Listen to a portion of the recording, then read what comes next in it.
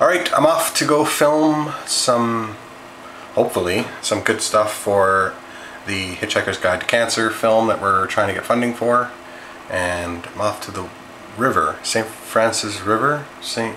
Francis River, yeah that's what it's called. St. Francis River here in Richmond, Quebec to get some good scenic, scenic shots. Uh, and I'm gonna do a speech or something on the camera. I have this planned out, I swear. so, let's try to find a good spot to do the uh, speech. Nice and beautiful here.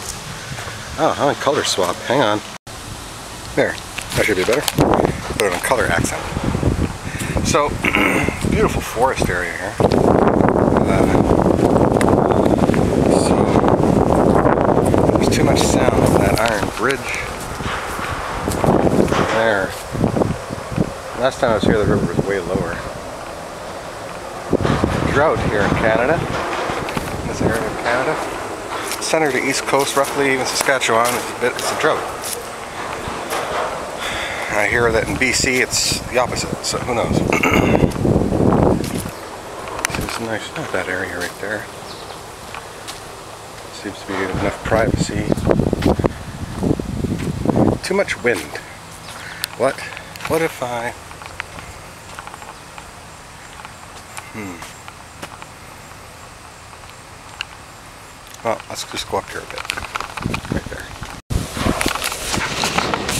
So, well, I did did a speech in here. Uh, follow the link down below to the film once it's up. I'll put the link there when it's up. Hopefully I remember.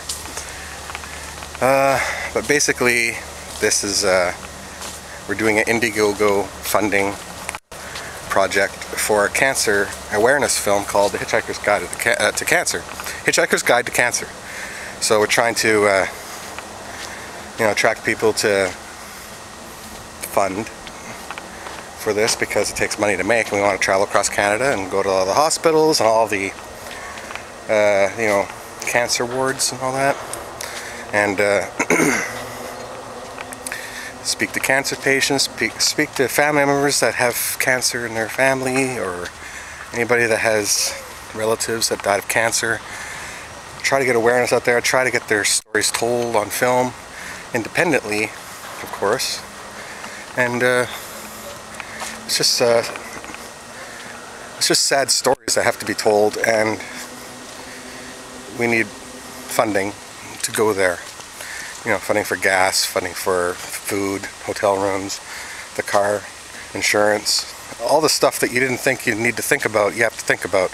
You need, it takes money, right? So we're just trying to get this off the ground, trying to get some funding for it, because uh, it takes a lot of money. Be like out in, out in the road for like a month at least. So we're trying to get that off the ground. it's kind of funny not to lighten the subject like that, but that was supposed to be a vlog and it turned out to be the speech I'm going to use, I think, for the actually Indiegogo trailer. Sorry about the wind. Look at this. I love these homemade steps. It works too. So, gonna get gonna go head home, review the footage, see if it's usable. Hopefully it's usable. The first take was rough Second take, I wasn't taking it seriously, it was just for the vlog and ended up being the best. Sounded more natural, sounded perfect. I think, in my mind. I gotta review the footage. My battery's dying. I've been fighting a battery, I've been fighting a dying battery uh, doing this whole filming today. Because I'm prepared, I guess. So I'm gonna go home and review the footage.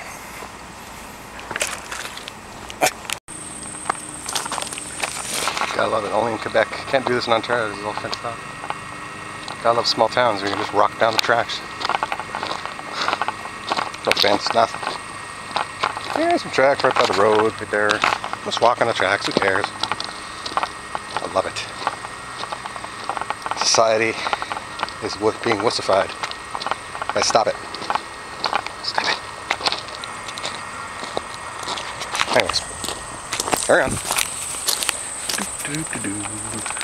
Oh, sweet car. I want that car. One of my favorite cars. Oh, sorry, you're zoomed in. I went to try to get some sunset shots today for the cancer film I'm working on, but it's all cloudy everywhere. So I'll have to try again tomorrow. It's too bad. Well, good night everybody.